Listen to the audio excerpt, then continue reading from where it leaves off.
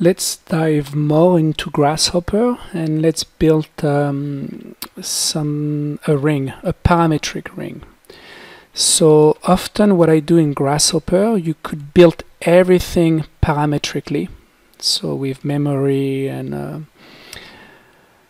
uh, everything with math. But often you can also build a little bit here, do your magic here and come back here. And that's what I do a lot because it's just easier uh, to learn easier to understand. So I'm, I went circle, I type 0 so it's at the center, I hold shift so it's straight, and I could put a dimension, but I'm just going to eyeball it. And I do another one, right click, 0, and that one will be a little bit smaller, and I'll move it down a little bit, and that new one, I'll move it out, and we'll rotate it just a hair maybe minus 1 degree. Actually, it's the other way. Uh, plus 2 degree. Yeah, something like this. MI for mirror, 0 for the center, hold shift, and we're good. Perfect. So this is the three curve that I want to bring into Grasshopper. I could take one curve node like we did and have the three, but I want to control them one by one. So what I'm going to do, I'm going to double click, type curve, and I want three copy of this curve. So in Grasshopper, the way you do this, you click and then hold, click and hold. I don't know why it didn't work. Um, so now we've got three curve input. We select one, right click, set one curve. Um, I usually like to name them so here you can name it left or right left curve and click here to see it otherwise it won't show up. So the middle one.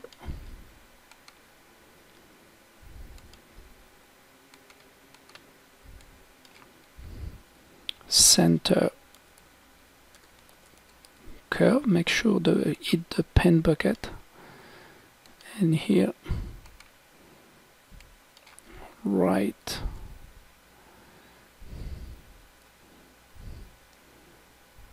Curve. Perfect. So now what I want to do is divide rebuild resample each curve. So I can double click get a divide curve like we did in the previous section and click and press all to get three of them.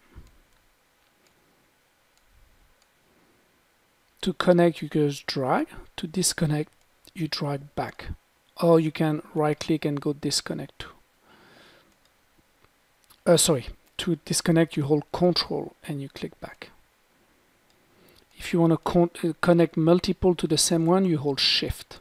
That's how you do it. Uh, it looked like I didn't hold shift.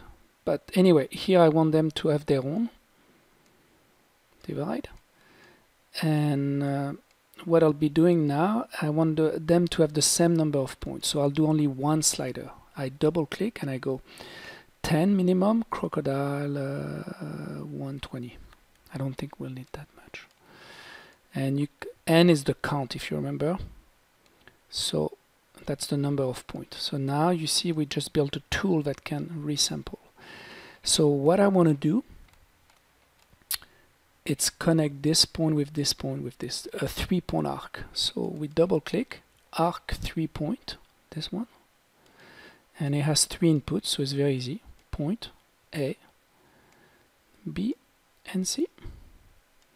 And now, as you can tell, it's working. And even if you were to grab this circle, you see, move that point, it will update and this is attached to this. So um, now to give this geometry, we can use a pipe. There's also a pipe variable that we'll see later on. And it's pretty simple. Uh, this is the curve. This is for the radius. So a radius is usually pretty small. So we go 0.1 to 1.5. We could double click and name this radius.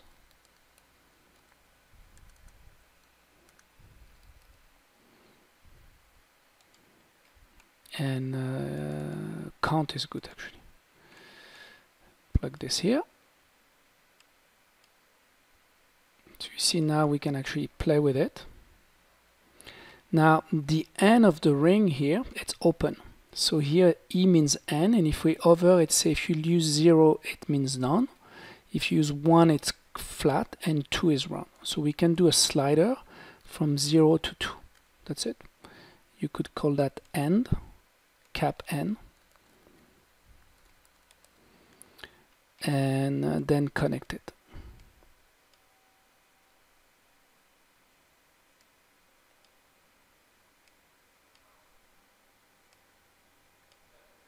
like this.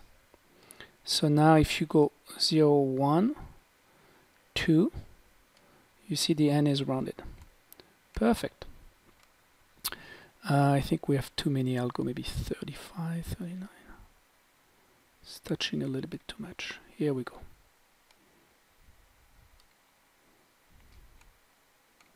It select those three, copy, and place them here. Control V. And the new one, you can press Control G to group them, so you know it's the thickness of something else. So now that one could be smaller.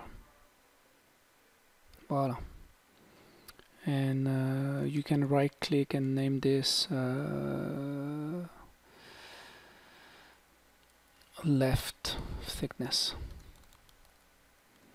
Voila now you can paste a new one and uh, sorry if it looks a bit messy control G you could also stretch it a bit and do the middle one so that's the middle one and we'll go at the same point too voila we could name it two and finally the last one Control G. Move, move this here. I hope I haven't lost you here. It's actually a very simple tree. And uh, put it here. Voila. So now they all have. And I'm gonna bring this to point two. Voila. Maybe it'll be easier if I put them here actually. So this is the thickness of my three first circle and this is the thickness of the I could also it's good to organize things well as you can tell so you can later on understand what's going on so we could uh, easily group this together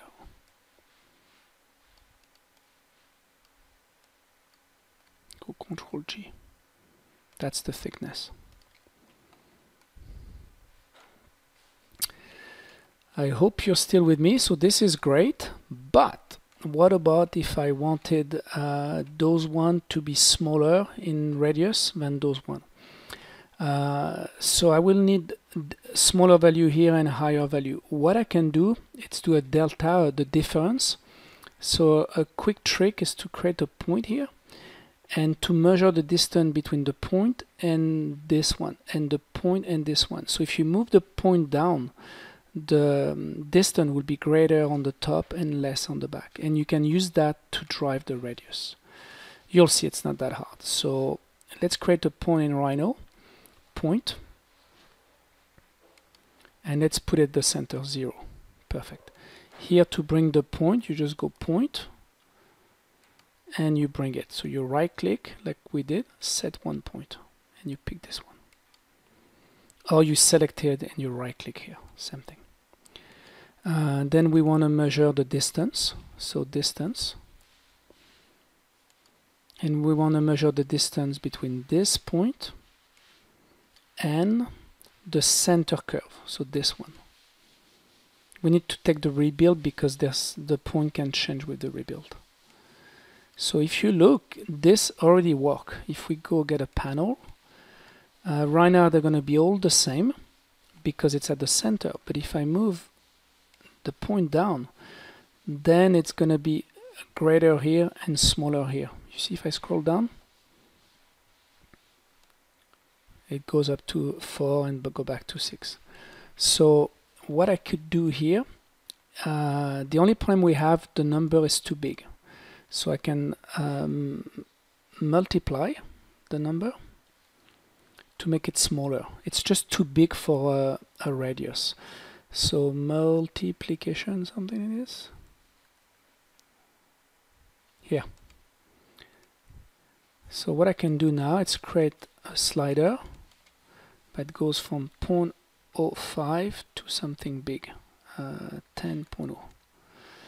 And now if I use this with this,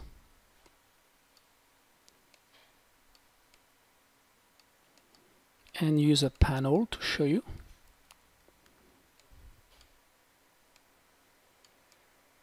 It's much smaller. So I could increase this and get larger number. So now we could use this instead of this one. So we're just replacing the radius. And now if I increase, oh, too much. So maybe it was the other way. Decrease.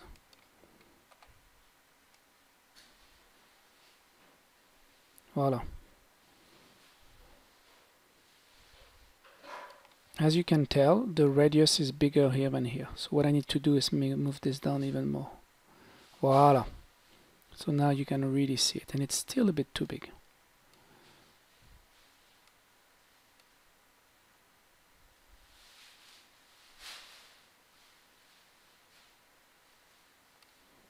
What I could also do here, it's double click on this um, slider here and change the range. So I could say the max should just be 1. That will make my life easier. So now I can be much more precise.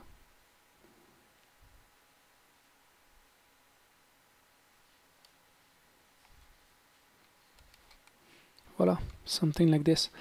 And remember, we could uh, still grab this we could grab those two points we could uh, scale them move them out move them up. We could do a lot of things. Now when you're happy with this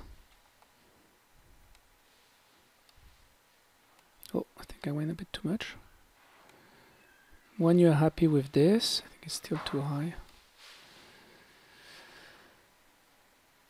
and a little bit too wide. Uh, we could go back to uh, the number here and put less or more.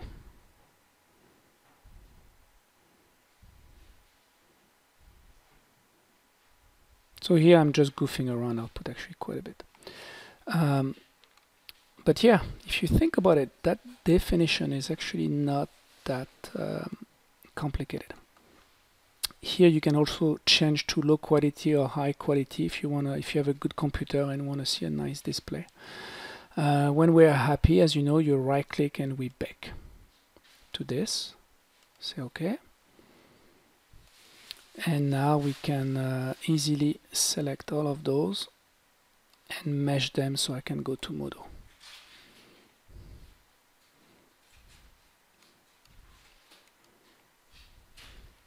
Voilà.